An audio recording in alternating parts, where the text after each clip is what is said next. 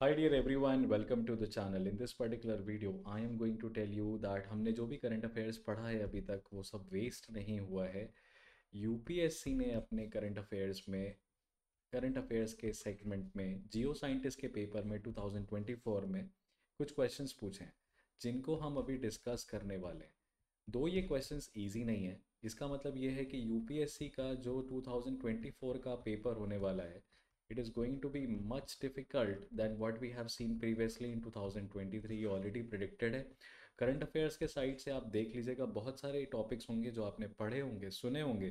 But उनके बारे में जिस तरीके के क्वेश्चंस फ्रेम किए गए हैं, वो थोड़ा सा इन टू द डेप्थ जाके किए गए जैसे सबसे पहले आपको ये क्वेश्चन दिखाई देगा। In December 2023 the parliament of India passed a bill to establish the Sammakka Sarakka central tribal university in which one among the following states अब ये डायरेक्टली इंडियन एक्सप्रेस की हेडिंग से है। द हिंदू ने इसको संडे के एडिशन में cover किया हुआ था और ये दिसंबर से रिलेटेड है। और द आंसर इज़ तेलंगाना बाकी इन्फॉर्मेशन आप यहाँ पे देख सकते हैं। आंध्र प्रदेश और तेलंगाना दोनों की अपने आप में एक ट्राइबल यूनिवर्सिटी होने वाली है। और समक्का सरक्का ट्राइबल फेस्टिवल भी जो है वो तेलंगाना में ऑब्ज़र्व किया जाता है। तो ये information again directly from the newspaper है। नेक्स्ट क्वेश्चन आपको दिखाई देगा। Global partnership on artificial intelligence अब हम लोगों ने करंट अफेयर्स में डियर ब्लेचली डिक्लेरेशन को बहुत अच्छे से करा था। और बहुत सारे एडिटोरियल्स आए थे जो कि इस पॉइंट पे डिस्कस कर रहे थे कि ह्यूमन सेंट्रिक अप्रोच है स्टेट सेंट्रिक अप्रोच है यूएसए की अप्रोच यू की अप्रोच जी सेवन में, फिर यूके की अप्रोच राइट एलन ट्यूरिंग और इसके ऊपर। अब देखिए global partnership on artificial intelligence की इस बार की समिट इंडिया ने होस्ट की है। इसके पहले ये समिट टोक्यो में हुई है लास्ट ईयर टोक्यो डिक्लेरेशन हुआ और इस बार न्यू दिल्ली डिक्लेरेशन था। डीपीआई जैसा हम लोग करना चाह रहे हैं यहाँ पे। तो ये एक तरीके से क्या है? आर्टिफिशियल इंटेलिजेंस की ग्रोथ को उसके एक्सपेंशन को लिमिट करने के लिए डिक्लेरेशन था और इंडिया ने कहा कि हम आर्टिफिशियल इंटेलिजेंस को हेल्थ सेक्टर में कैसे यूज़ कर सकते हैं उसके बारे में हम बात करने वाले हैं। सो so, ये डायरेक्टली इंडियन एक्सप्रेस का अगेन टॉपिक है और अक्टूबर मंथ से है। जून 2022 से लेकर अक्टूबर 2023 तक ये टॉपिक लगातार ट्रेंडिंग रहा। उसके बाद दिसंबर में इसमें फाइनली डिक्लेरेशन आया। तो फिर आपको ये दिखाई देगा कि very important segment directly from the newspaper and again this both of them this both of the statements are correct and the answer is C next question देखिए यूनेस्को के क्रिएटिव सिटीज़ लिटरेचर इसमें directly आपको notes लिखवाए थे मैंने और लिखा था कि जो ग्वालियर है, वो सिटी ऑफ़ म्यूज़िक है। Kozhikode is a city of literature now again that was the superficial information one liner के लिए इंपॉर्टेंट है। हमने ये भी लिखा था कि क्रिएटिव सिटी नेटवर्क जो है यूनेस्को का है उसने 2004 में स्टार्ट किया था। और 55 सिटीज़ सो फार इंडिया की तरफ़ से सॉरी uh, वर्ल्ड में इंक्लूडेड हैं। इस बार इंक्लूड की गई हैं। ओवरऑल तो सिटीज़ के नंबर काफ़ी ज़्यादा हैं which is more than 200 300 cities right अब क्वेश्चन देखिए क्या है। Kozhikode is India first UNESCO city of literature again if you do not know what are all the creative cities of India within UNESCO creative city network you will falter on this point ठीक है? तो देखिए, श्रीनगर, वाराणसी, चेन्नई, ये सब पहले हो चुके हैं क्राफ्ट्स एंड म्यूज़िक के लिए but statement one is correct अपने को नॉट करेक्ट बताना है।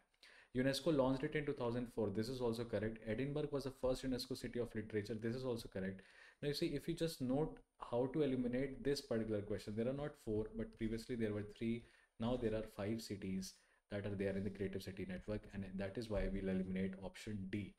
Next question ko dekhiye 114th.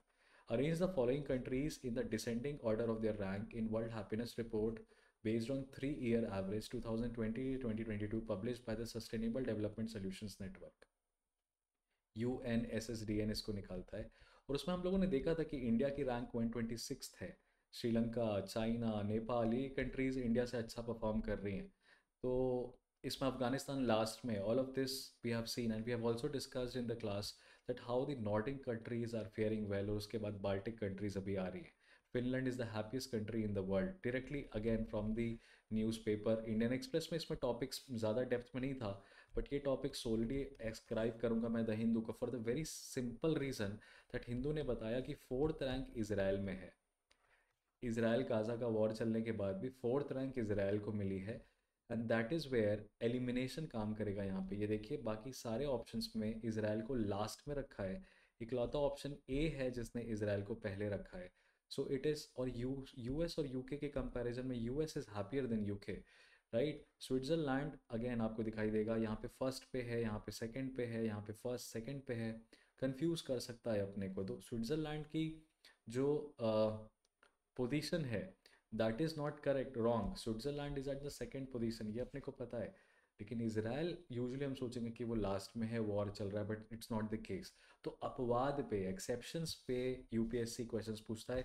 और नोट्स में मैंने डायरेक्टली आपको लिखवाया था कि Israel is the fourth country and direct question आपको यूपीएससी के पेपर में दिखाई देगा यहाँ पे। Right which of the following statements with respect to milk production in India is are not correct right is are not correct now milk production से related जो भी न्यूज़ आई है, वो 2022 के पीरियड में आई है। अब आपको पता है कि India is the biggest milk consumer as well as the exporter right milk सबसे ज़्यादा हमारे यहाँ पे होते हैं। अब चाइना से नहीं हो सकता because China is lactose intolerant okay now the production of milk Amul को केस स्टडी की तरफ़ पढ़ते हैं। इसका मतलब ज़ाहिर सी बात है कि हमारे यहाँ पे जो मिल्क का प्रोडक्शन है, वो इंक्रीज कर चुका है more than fifty percent right increase by more than fifty percent and that is where we need to exactly know the kind of uh, development that we have done in that part right and although the milk production over the above period has increased per capita availability of milk has decreased this is again incorrect so one only would be the correct अब ये मोर than fifty percent हुआ है कि नहीं हुआ है that is again I would say point of speculation but this is the most difficult question and you should not attempt these type of questions though they are coming from current affairs those are the current affairs so again it's civil services so you cannot say much uh, this is a very also direct question from the newspaper the source of the newspaper is down to earth magazine so that is again very important for us to remember the down to earth magazine um, uh, edition is important but nonetheless uh, ये चीज़ इसको editorials में cover की थी the Hindu ने right तो आपको newspaper को होलिस्टिकली पढ़ना रहता है। अगेन यहाँ से ये दिखाई देगा।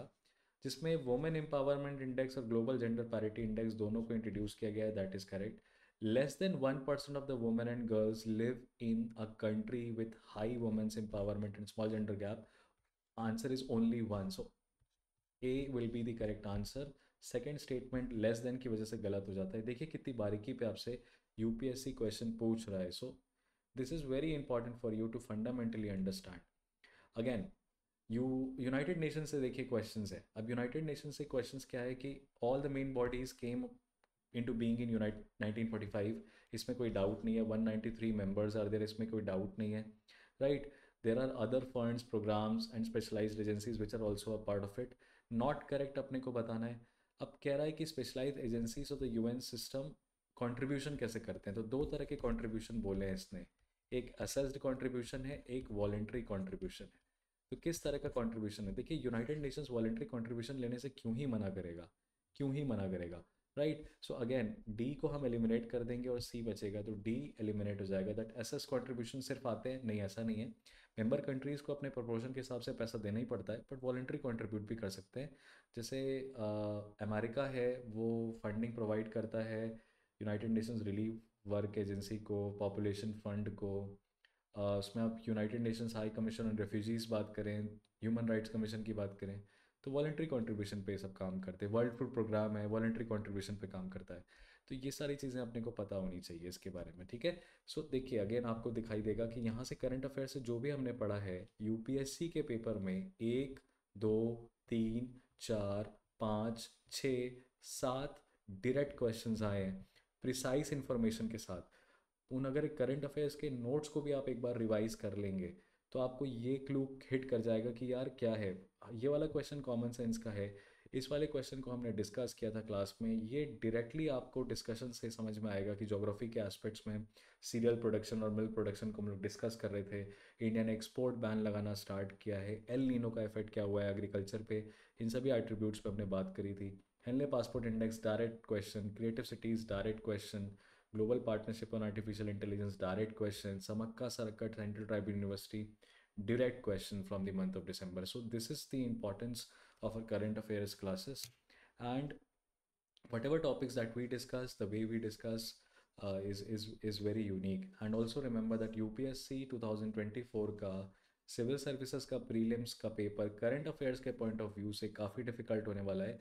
बिकॉज़ वो करंट अफेयर्स को दिसंबर 2022 से पिक कर रहे हैं और हमारी आदत है पिछले छः महीने, आठ महीने के करंट अफेयर्स पढ़ने की। Most of the current affairs लेकिन जो भी आपको 2024 के यूपीएससी सीएसई प्रीलिम्स में दिखाई देगा that will be from the month of October till the month of January this is my guarantee October 2023 से लेके जनवरी 2024 तक का current affairs newspaper line by line article by article पढ़िएगा।